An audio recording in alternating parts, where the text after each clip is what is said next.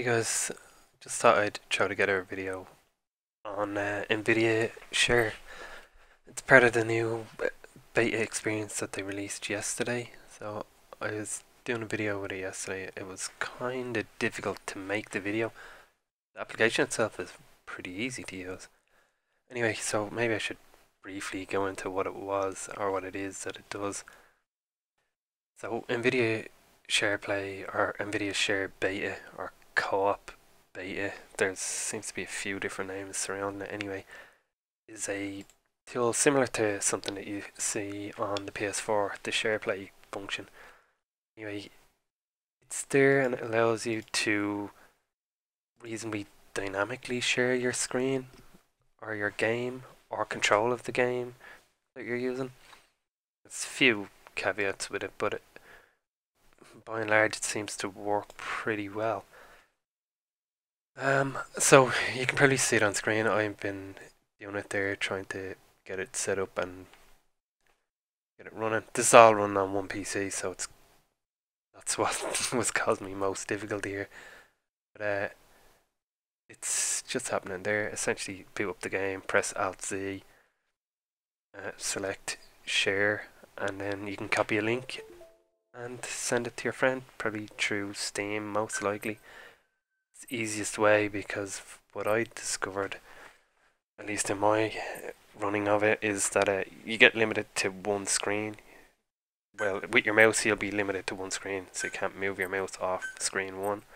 Can't seem to move things between one screen and the other at that point either. Um, also, my mouse is pretty much stuck in the top left hand corner once I start doing share play. Uh, outside of the game, that is. Um, yeah, so that does make things a bit more difficult, so you can only move things around with keyboard, so can't move from one screen to another at that point, or at least doesn't seem to let me. So, uh, but once I have everything set up, it's going, and you can kind of see it there that uh, there's next to no lag. Basically, I, I shared that with my browser now it is run on the same PC, so I don't know exactly how it's sharing it. Whether it's creating a direct connection from my PC to wherever it's supposed to be. I assume that that's probably how it works, and that's what's going on for next to no lag here. Um, then, you know, my day job has me running cloud services, um, or applications that are hosted applications, let's say, and there's next to no lag there. So, but then there's a lot less going on in applications. I am controlling my character with the share side. Uh, sorry, I'm controlling the character in game, but I'm watching the share screen. Uh, not sure if that's an excuse for how bad my shooting is there, but let's let's go with that. Um, the other thing Yes, but uh, yeah, sorry, I just wanted to say that it looks pretty good. Like, yeah, it's, it's obviously it's not quite as, as, high quality. Um, I couldn't get rid of the stuff on screen because I, I can't get out there. If I tab out of the game, that stuff disappears. Says, you know, game is paused. You'll have to wait for the credits to come back. So once I bring the game back, good dog, and the stuff appears on screen, so I can't get rid of it. Uh, I was going to try and do it on more than one PC uh, trying to sync up our or show the difference in time would have been uh, much more difficult to do because uh, we're talking about hopefully split seconds.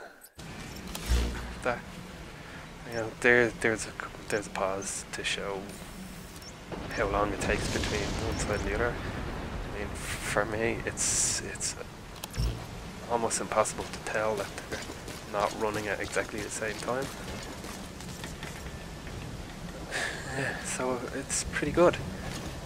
I mean, oh, oh, it does seem to have a hit on resources, and it did seem to cause some funny things to happen. But by and large, it's it's, it's good. Please select a mission. Uh, I'm gonna do another test, alright, with a friend of mine. Let him take control of the game from his house, um, which is a, a fair distance away. So we'll uh, get a better judge of how that works anyway. But for now, this is more uh, a case of showing almost real time, real time streaming. but it, it, it's good. I, I like it, and uh, the beta seems pretty reasonably fleshed out. Um, a couple of other things to note is that it only works with Chrome. Uh, when you send the link, it, it opens. Um, it's a web link, so you open the web page, and it will tell you that this only works with Chrome and requires a Chrome NVIDIA Chrome plugin. Roger. Once that goes in, it opens up, pops up a, another window, which is a bit weird, but it's good. Uh, Arriving shortly at LZ. and, and that's this is what you get. Uh, pretty much what you see in the bottom right hand corner, where it says share beta. That's what I'm getting.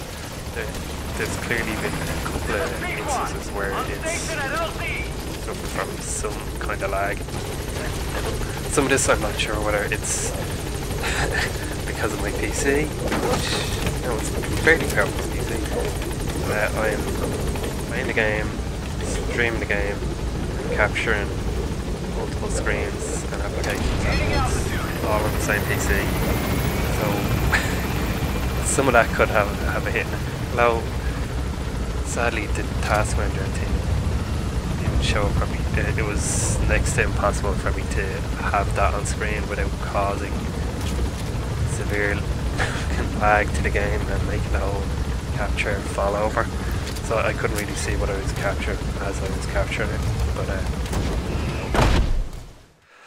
maybe I'll try and do another video again where we have more uh, or a bigger task manager screen. But uh, you know, it's you can see it there. It's not ordering the PC, but it, it's, it's doing some work anyway. But uh, I encourage people to give it a go, especially if you're trying to play a local co-op game. Like uh, I was looking at playing whereas in uh, something hyperspace, but it was only uh, it was only local co-op. Anyway, um, that's probably going to be the end of the video now. So uh, thanks for watching. Um, if you haven't tried out the NVIDIA Share Beta, uh, NVIDIA Experience, the new beta, go. It's worth a, a look. Okay, cheers. Goodbye.